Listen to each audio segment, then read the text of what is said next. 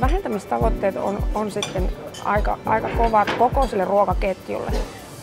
Mutta toisaalta sitten, sitten kuluttajien aiheuttama ruokahävikki on, on sitten sen koko ketjun suuri. Ruokahävikkiä syntyy Suomessa 400-500 miljoonaa kiloa vuodessa. Suurin osa syntyy kotitalouksissa, jopa 160 miljoonaa kiloa. Se vastaa noin 7800 rekka-autollista ruokaa.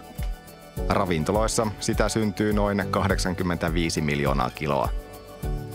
Pelkästään kotitalouksissa roskiin päätyvän ruoan vuotuiset päästöt vastaavat 400 000 auton hiilidioksidipäästöjä. Ruoan tuottaminen, kuljettaminen ja valmistaminen aiheuttavat merkittäviä ilmastopäästöjä. Jos ruoka päätyy roskiin, ovat päästöt syntyneet ihan turhaan jokaisesta kotitaloudesta kuitenkin loppujen lopuksi se viikoittain syntyvä hävikkimäärä on sitten loppujen lopuksi viik- aika, aika pieni, noin puoli kiloa viikossa. Et, et sellaisesta määrästä se voi tuntua, että eihän se, eihän se vaikuta mihinkään, mutta silti se koko, koko määrä, kokonaismäärä on aika valtava.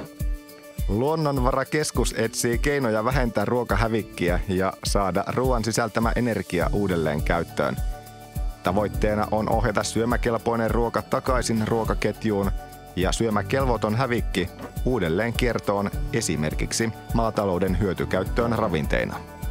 Ruokahävikin vaikutukset sitten taas, että jos mietitään sitä, että, että ruoan tuotannosta kaikesta tuotetusta ruoasta noin 15 prosenttia päätyy hävikiksi. Ja voi ajatella silloin, että että se kaikki, kaikki ruokahävikiksi päätyvä ruoka on tuotettu turhaan. Kaikki ne panokset, mitä sen, sen tuottamiseen on käytetty, on, on käytetty turhaan. Ruokahävikki on turhaa jätettä, jonka synty olisi voitu välttää esimerkiksi valmistamalla tai säilyttämällä ruoka toisin. Se rasittaa ympäristön lisäksi myös taloutta. Onneksi hävikin vähentämiseksi on jo herätty. Esimerkiksi oululaisessa ravintola Dubassa on kehitetty siihen monia hyviä tapoja. Eli Raksilan City Marketin kanssa ollaan tehty huhtikuusta 2016 saakka tämmöistä jatkuvaa yhteistyötä, jossa me ollaan hyödynnetty tätä heidän hevihävikkiä. Eli me käydään viitenä päivänä viikosta hakemassa, äh, hakemassa sieltä tavarat ja me maksetaan niistä niille vähän sen ja sitten täällä meillä käydään se tavara läpi, lajitellaan ja hyödynnetään lounaan salaateissa, kasvisruuissa ja sitten brunssivalmistuksessa. semmoinen reilu 10 000 kiloa per vuosi me pystytään niin kuin vähentämään sitä City Marketista lähtevää biojätekuormaa, mikä menee sinne kiertokaaren tiloihin. Yksi keino vähentää omaa ja samalla ravintolan hävikkiä on syödä lautanen tyhjäksi. Otetaan ensin sopivasti ja sitten, sitten otetaan lisää, jos, jos vielä jää nälkä. Mutta ei, ei hamstrata sitten siellä buffetissakaan sitä ruokaa. Eli silloin ei aiheuteta sitä lautashävikkiä. Ruokahävikkiä syntyy ruokaketjuna kaikissa vaiheissa, mutta kaikkein eniten kotitalouksissa – Kotitalouksien ostamasta ruoasta peräti 6 prosenttia päätyy jätteeksi. Kotitalouksissa hävikin vähentämiseksi on monia keinoja.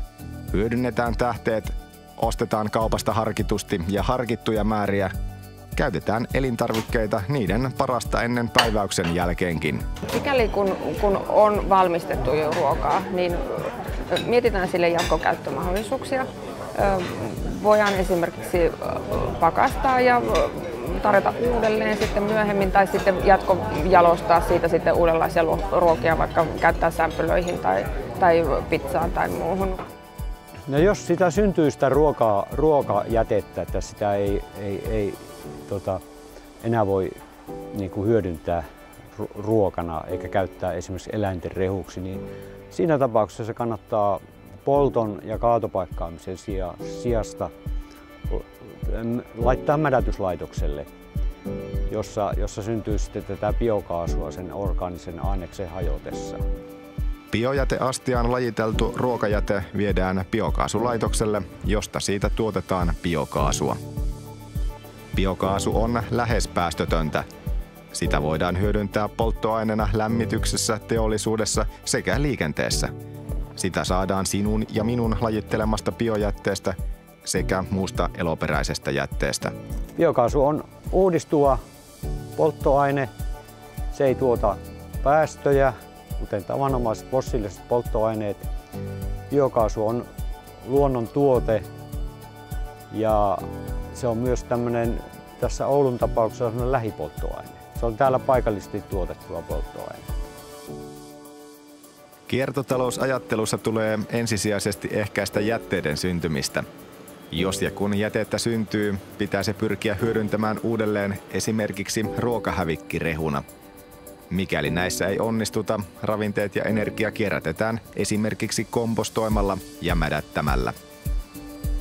Idea oli tilanteessahan, nyt jos mietitään, mietitään Euroopan hävikin puolittamistavoitteita, siihen jos päästään, ja vielä jos siitä eteenpäin vielä, vielä nipistämään lisää ruokahävikistä, eli, eli mahdollisimman vähän syntyisi sitä, sitä syömäkelpoista ruokahävikkiä.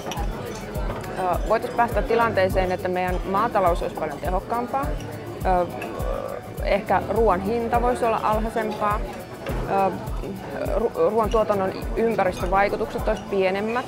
Ja toisaalta pystyttäisiin sitten pienemmältä peltopinta-alalta ruokkimaan enemmän suita